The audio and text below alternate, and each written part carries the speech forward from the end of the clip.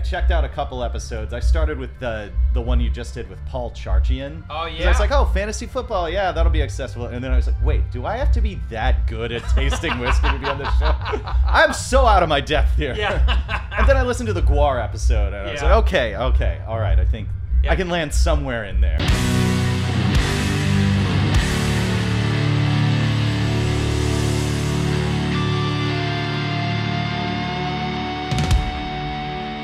The Fred Minnick Show is brought to you by 291 Colorado Whiskey, by Michter's, and by Heaven Hill Brands. All right, man. Rob from the Revivalists. How you doing, brother? Welcome to Bourbon and Beyond. Good morning. How How's you it going? doing? Fantastic. You feeling good? Yeah. You got you got your. Real good. uh, real good. When do you when do you go on? We are at I don't know six ish, something like that. Okay. Yeah, you guys are the. Uh, uh, that's what we would call like the the upper crust of uh, of the musicians. Yeah, I feel like we're always kind of the bottom of the upper crust. It's us, and then it's like the people you definitely heard of, like Oh, Alanis Morissette, who. I gotta stick around for. I, I'm just saying, if I knew you when you were young, ah, we would be getting high a lot. ah, there he is. So that's that's a song. It's like my favorite song. I think it's probably everyone's favorite song of y'all's. yeah, that know. tracks. It's a great song. I feel like it should. Is it, it's been in a few movies. Has it been in a few mu- movies and stuff? TV Uh, shows. yeah, it shows up every now and again. Yeah. Um, there was a blue moon. There was a blue moon commercial that was pretty nice. Uh, a while back, I'm trying to think which shows. it's been- Yeah, you know, it turns up every pops up every now and again. Yeah. Now, all right. So what we're going to do here, uh, we are actually going. I'm gonna uh, for our live audience here. I've got a little little graphic that I got. One pop in here. Look at that. What? What? What? Look at that. That's all. Yeah, I mean, I, I've got some. I got some tech, tech man. Are you're you from the future? I'm from the future, so now I'm the young one for you. Uh, yeah, it's- I'm getting weird. Time Um, travel. So, all right. So you're a New Orleans boy. Um, I got some. Uh, Mm-hmm. I got some whiskey from um, from Louisiana. That's pretty cool. I want to taste with you. It's, it's it's out of left field actually. It's a little different. But first, I want there's a I want to taste some Jack some Jack Ten with you. This was uh, this was in my top ten of uh, best uh, whiskeys last year. You got your glass Excellent. there. There we go. At, what, how early do you normally drink? Uh, New Orleans, it's kind of whenever you get. A, I always like to say you can. Uh, the cool thing about New Orleans is that you can take your drink from the bar and then bring it into church with you on a Sunday morning. Do you ever do you ever play at church? Like, cause that's a thing there. Like, they go all out on uh, musical elements there. It's been. Uh, we have we haven't gotten too many opportunities for churches yet. Uh, we've recorded in a couple studios that used to be churches, but that's Okay. about as close as we get. Despite the somewhat religious sounding name, we. Uh, Now, do you all end do, up do you all do secular. uh, jazz fest like Oh, all yes. the time? Yeah, every, I think every year but one since uh, since about 2012, 2011. Yeah. It's uh it's Hmm. a special it's a special area like but I, I will tell you bad shit happens to me in New Orleans. you know? Yeah, that's New Orleans. Yeah, I mean, one time I got I, when I was younger, uh, I got so hammered. Um, I think I'm pretty sure somebody roofied me. Somebody roofied me at one of these random bars, and I woke up next to like the, the homeless area where they were warming their hands over trash cans, which was weird because it was like March, so it wasn't that Yeah, it's cold. New Orleans. What- But you know, I suppose if it gets 60 degrees there, you all get cold. Yeah, that's that's bundle up time for us. But how is New Orleans these days? Uh, hot as crap, extremely warm, uh, pretty wet. Uh, you know, infrastructure failing at, at every direction, Yeah. but still, you know, just a beautiful, magical place to live. all kinds of trumpets and saxophones on the street. just every time the wind kicks up, they're flying around, blowing in the air. Yeah. But uh, I mean, it's you know, it's it's a beautiful, difficult place to live. Um, you know, there's there's so much there's so much to the city, and it's it's been so much to so many people over so many. It's thriving as much as anybody can in these days. But Yeah. you know, Well, this is uh, this is a Jack Daniel's ten year old. Um, this I want to kind of go through like the motions of tasting with you. We first analyze the color. When it goes into the barrel, it's as clear as the water from your tap. Swirled around a little bit. Bring it to your nose. When you uh, when you smell uh, whiskey, you want to smell with your mouth open because it relaxes your olfactory. You can breathe, you know, even taste it on the way out a little bit. Do you have a breathing mechanism when you're playing the saxophone? Um, Like, do just you, uh, do you hold your breath? get as much as I can. I mean, How do you do that? well, I some people can do a can do circular breathing where you can hold it forever, but that takes like you have to learn how to do that, and it's hard. So I don't want to. Uh, basically, just I try to breathe around the side, like around the sides of it, because you have the mouthpiece in your mouth, kind of Yeah. blocking off here. And if you pull if you pull your mouth off of it and you break your embouchure, then you you kind of end up like getting unset and reset. So I try to breathe quickly around the sides of my mouth, like a. Okay. Now, um, you're very familiar in Hmm. thinking about your mouth and how it is positioned all the time.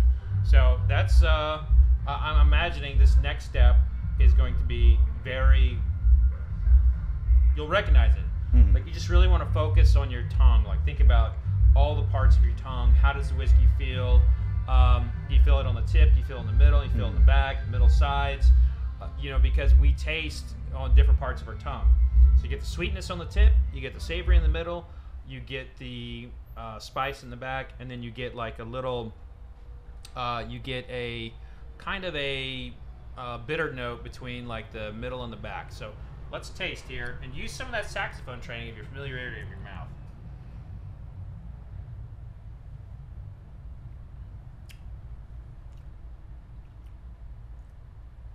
Oh man, that's something pretty good to start the day with right there. Mm. Breakfast. Good lord. Jack Daniels has been putting out some great stuff, but there's like a note I'm getting in this. It's like pancakes. Like I keep getting these like maple syrup pancakes from them here lately. But that's delicious. Mm. Where are you noticing it on your tongue? What part of the tongue? Feels like a lot the tip. Okay, I'm like, the sweet area. tip. Yeah. All right. Yeah, I've always felt like Jack Daniels always seems to have a bit of a sweetness to it. Yeah. Like I think that's part of the reason that it's you know it's so ubiquitous is that it's it's got a bit of that more accessibility, which I like. You know, I don't I don't have a I don't have too refined a palate. I Well, admit, uh, in preparation for this, I was I checked out a couple episodes. I started with the the one you just did with Paul Charchian. Oh, 'Cause I yeah? was like, oh, fantasy football, yeah, that'll be accessible. And then I was like, wait, do I have to be that good at tasting whiskey to be on this show? I'm so out of my depth here. Yeah. and then I listened to the GWAR episode, and I was like, okay, okay, all right, I think Yeah. I can land somewhere in there. Yeah, well, thank God uh, you wouldn't fit in here if it was war. Yeah. You know, like all their weird stuff. Then you'd shoot me with blood and. fake- Only blood, yeah. Yeah, I was gonna say, please that the other part. Yeah, they kept they kept trying to get you to say it on the show. yeah, yeah. They kept trying. that was fun. They uh, they're a fun group, Mhm. uh, and it's funny. Like when they get in character, like I know all those guys, but you know they're in character, they will not break character at all. It's crazy. So when you were playing the, the saxophone, like one of the things I've noticed, Mm-hmm. like uh, trumpet players, saxophone players, trombone, like those cheeks, like like you like, like you guys like have like Mm. Yeah. amazing muscles in here. Do you have like some kind of workout you do for your jaw or your cheek area or anything like that? I most I mean it mostly just comes from playing the horn. Um, I usually when I get it out of the case, I warm up on just the mouthpiece for a little while, and I think that helps really focus on on like the cheeks and the jaw area and strengthening this. And it's fun because it sounds like a duck call. And so everybody we'll be on stages and stuff, and I'll just be walking around going, and everybody's like, "What the?" Now, lead singers, uh, they'll lose their voice, right? So they'll Mm. lose their voice and they can't play. Is there anything like that for a saxophonist that you, if you like, uh, you hurt your stomach or you have like a bad throat, is there anything that would keep you from playing? Um, not really keep me from playing, but if I'm uh, if I've been on vacation or something, like if I've been at the beach for a week and I haven't really been able to pick up the horn, then and go straight back to a show, then sometimes like your chops can kind of get blown out, is what it's called, where your mouth can't really hold its shape and Right. the notes just kind of come out sounding a little flabby. Okay. Now, what? Where do you um, like we were talking earlier about where you all on the bill today? I said you're. I said you're the upper crust. You said you're the lower part of the upper crust, which I disagree with. Uh, where do you? Where? What's? Where? What? What's new for you all? What do you guys got coming up? Uh, well, a lot of it's just been, you know, the spirit of 2022 for everybody in the music industry right now is just the excitement of you know being back at it. I mean, even this festival, you guys took two years Yeah. off, right? I think every I just all around everything is so go go go right now and everybody's just so excited to be back and we love like going to festivals like this because we always see get to see people who are friends from on the road that you know you never like I never hang out with friends who are in like bands that live in Denver or whatever because they live in Denver Right. but you just see but like you just see people uh, a couple times a year and it's really great to have that kind of the extended family getting back together Yeah. and so that that's really the excitement around the industry and then It is it is exciting, but also uh, like some parts of the country didn't take any time off. yeah You know, uh, New Orleans was it was a little bit in the middle. Yeah, I, th- I think I think we did good. I think there are reasons to be critical of the mayor in New Orleans, but personally, I think like I, I was okay with people being kind of heavy-handed with the COVID and stuff because you know it was scary and it It was, was scary. Like we, we're learning a little bit more now. But like, well, Yeah. well, we didn't know then. Yeah, You know, we didn't know then. yeah. And- nobody knew anything. And who every- wanted to be a politician at that time? You're you're damned if you do, and you're damned if you don't. Exactly. Yeah. So- Like I think our mayor saved lives and is going to burn for it next election. Yeah, there you go. But I mean, she's also like doing other sketchy stuff. So. There's that mo- taking money on the side kind of deal. Well, I mean, it's- that's par for the course in Louisiana. Yeah, it's Louisiana politics. Yeah, it's I wrong. mean, it's kind of like, well, hello there. You got a bag of money for me? I'm gonna. All right, so this is a new brand that really kind of caught my eye. It's from Louisiana. Like, I don't know if you can tell. It, they put it a little bit on there. yeah. This is uh, what we just had was uh, made. You know, was Mhm. Jack Daniel's ten year old. That was made from predominantly uh, corn. Um, This is made out of 100% rice, and you know it's it's made in uh, you know I don't know exactly where it's made. Uh, the Pro- they're Providence distillers. I don't know the area well enough, but I would assume that they're if it, they're using rice, they're in a marshy area Mhm. filled with alligators, which terrify me. Alligators terrify me. Have you ever had a close call with an alligator? No, I've never been too close to one. Uh, really, I think really most of my experience with alligator, uh, they're already fried up and on a platter for me. Ah! They're not too scary like that. Not too scary when you're already eating them. By the way, Yeah. alligator is good eating. Yeah, basically chicken nuggets. Yeah, and, and then if you look at like some of the, uh, some of the Drink like the right predators in the world that will eat them, Mm. like they go out of their way to eat alligators, like pumas, jaguars, leopards. Jeez. They'll just jump right in the water, eat them. I don't. I don't understand being excited about fighting an alligator to the death. Yeah. Like, well, let somebody else do it. I'll, I'll, I'll eat it at. I'll eat it at Frankie and Johnny's or something. I guess if you're a if you're a big cat though, you like your odds because you got those big claws, Yeah. and big teeth.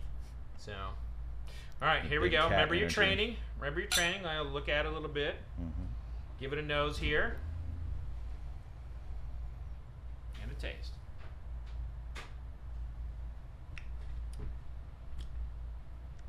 A little bit of Louisiana in that glass. Mm. It's really good. Mm. Uh, so we're just tasting uh, JT Meleck.